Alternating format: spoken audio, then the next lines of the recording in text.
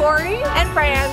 And we're here to say happy holidays and happy new year. We are so thankful to you all, our Alumni Association members, and we wish you all a happy holiday season. Yes, have a great one.